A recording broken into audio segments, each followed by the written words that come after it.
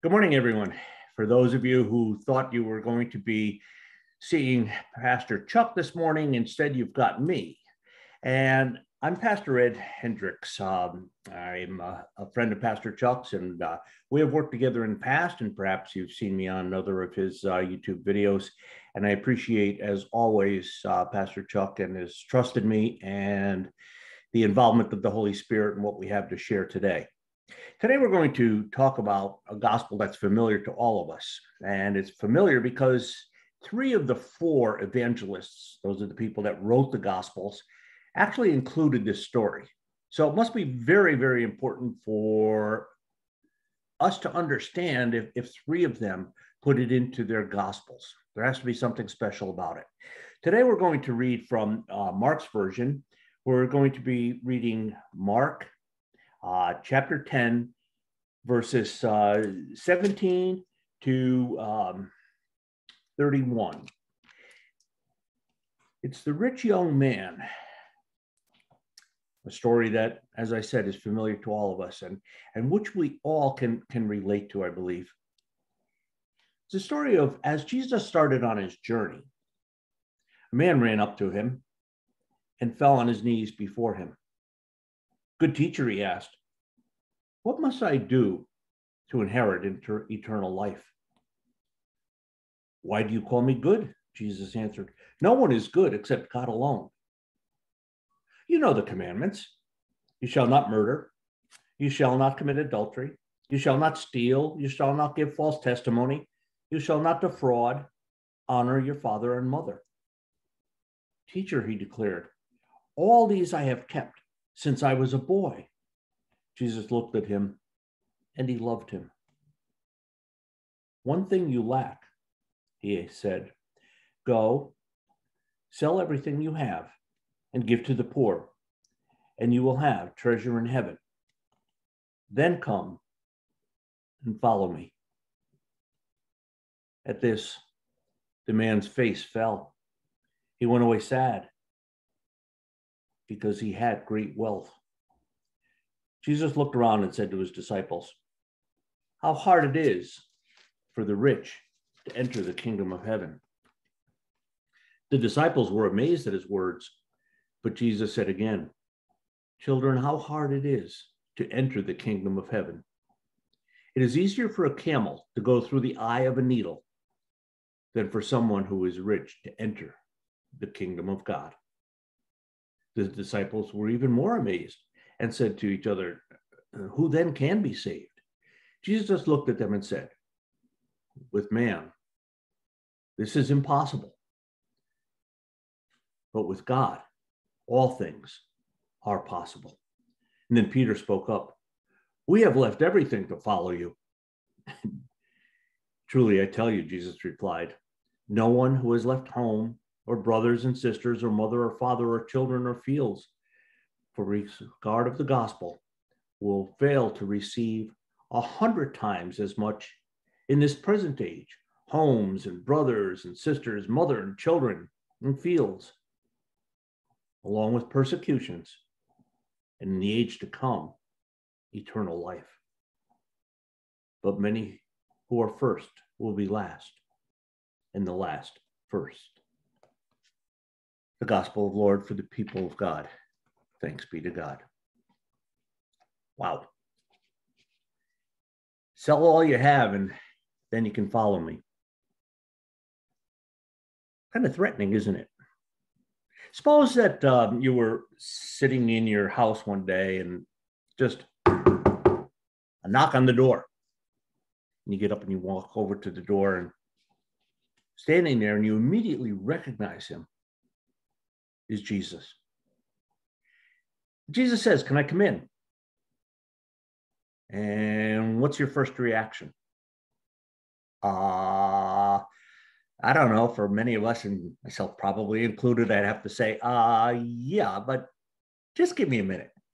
Uh, let me, I gotta, I know I have a Bible somewhere around. Um, let, me, let me let me dig it out from wherever I have it hidden and, and put it out. And let me hide some of those magazines that I, I wish you might not see and and and I'll get rid of them.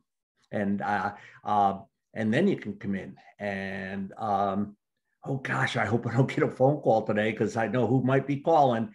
And I just can't help myself when that person calls. I, I start using language that I, I don't normally use because they, oh my gosh, uh, hang on, Jesus, I, I, I just, just, just, just another minute, and all these thoughts are going through your head. Oh, oh, oh, oh, oh, oh. Um, what if he asks to see my my cell phone and my my my, my search history? What if he asks to, to see my texts? Uh, um, um, what if, what, if, what oh, oh I don't know, Jesus. I, I keep praying that you'll come, but I'd, I'd like a little notice next time. And Jesus said, Don't worry about it. Just let me in. Well, okay. And Jesus walks in, he looks around your house and said, Boy, you've got some pretty nice stuff here. I see that you got a computer, you've got all kinds of things. You know, most of my followers didn't have those things and and they got along fine without them. How about how about you? Can you get along without your technology? Can you get along without your television? Can you get along without playing that you're someone in one situation and pretending to be someone else in another situation? Can you give up everything to follow me? You know, the rich young man came up and said, I followed all the rules look, you know, as a, as a Jewish guy, I, I, I went through all of the training I needed. I went through all of the Hebrew school. I learned the scriptures. Not only did I memorize the scriptures, but I can read the scriptures, Jesus, and I followed the rules. Um, you know, as, as best I could. You know, I'll, I'll tell you tell you that I did everything perfectly, but you know, maybe there were a couple things, but um, you know, but you're, you're asking me to give up some stuff that I really think I need. Like, you know, I, I, it's taken me a long time to accumulate this money. My father started putting together this fortune, and I, I you know, I, I just can't give it away. Um, kind of like us would, would say, you know, Jesus, you want me to sell my my my car and and give the money to to to your missions? Jesus, you want me to to get rid of my technology and and and and be in the the dark, if you will, except for reading the Gospels? Come on, Jesus, that's a, that's a little bit rough to ask. And that's the same thing this man was going through.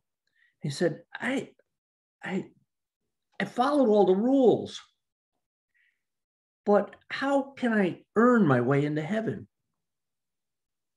And I think many of us have that same idea that, that somehow we have to earn our way into heaven.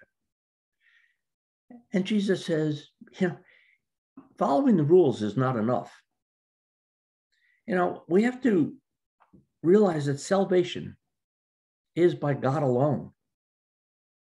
And it's a gift from God. And that gift is called grace. We can't buy it.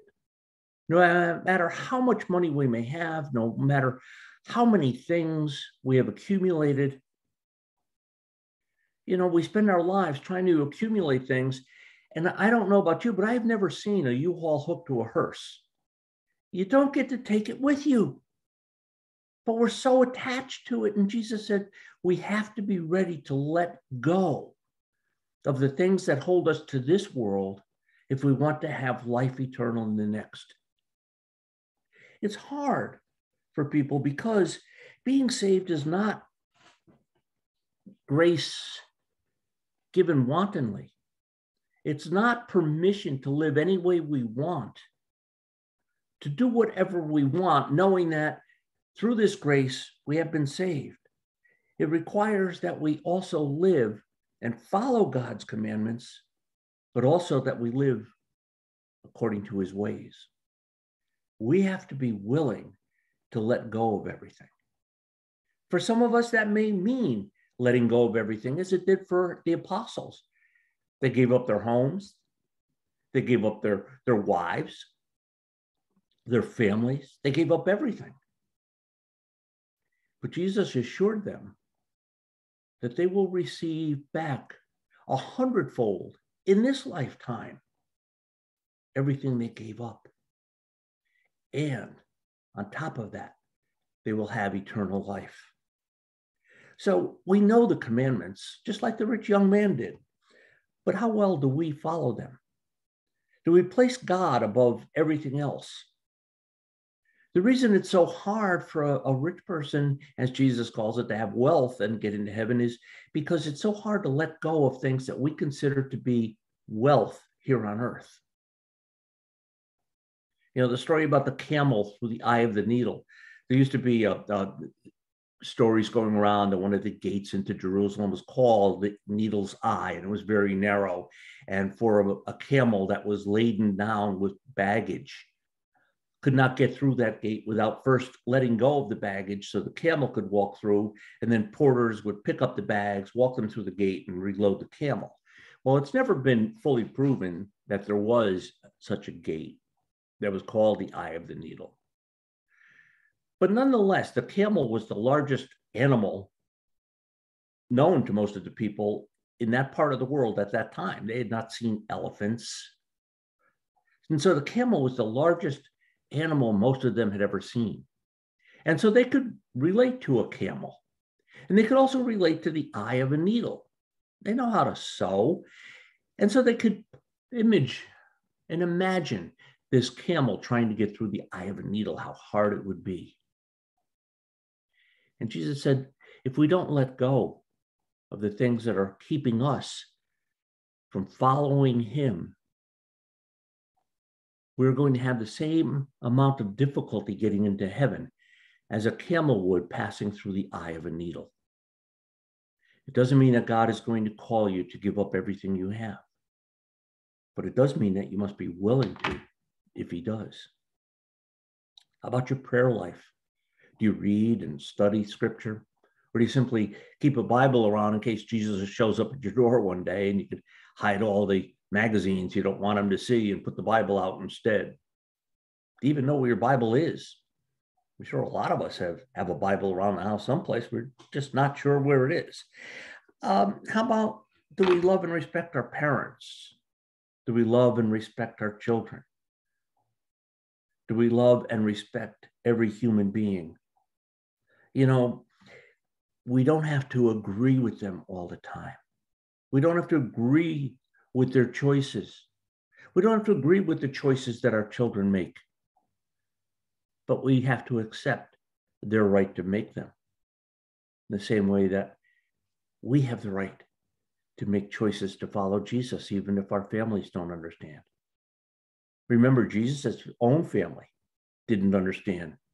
Earlier in Mark's gospel, we read that they thought he was out of his mind when he first started his ministry. When I first decided to become an ordained pastor, my brother called me on the phone and said, Do you know how stupid you are? Our family may not understand our decision to follow Jesus, but God does. And if we want eternal life, and so the good we have to do is to live according to God's ways can be found in the prophet Micah. Prophet Micah, chapter 6, verse 8, where it says, belonging to God, obeying Him, and walking in humility with Him, and doing justice and in loving kindness. This is what it means to follow Jesus. He's at your door. Are you ready to respond when he says, Come, follow me, and I will lead you to eternal life? Let us pray. Dear Jesus, we thank you for the message today. We thank you for challenging us to reflect on what truly is important in our lives. We thank you for challenging us to keep you and our Heavenly Father at the forefront of all of our thoughts. We have so many things in our calendars, so many checks that we have written in our checkbook. But where your time and talent is, where your time and your money is, that's generally where your heart goes. And so if we look at our calendars, do we have time on there for you, Lord? Do we actually book time to spend with you? Do we book time on our calendar each morning, even if it means getting up a little bit earlier to pray? Do we book time at the end of the day to thank you for letting us have that day?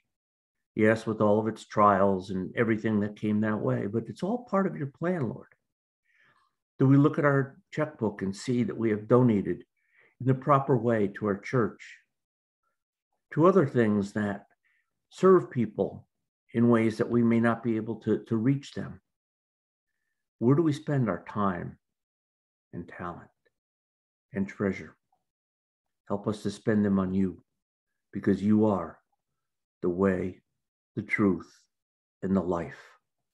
And that life is eternal life. Amen. God bless people. And thank you.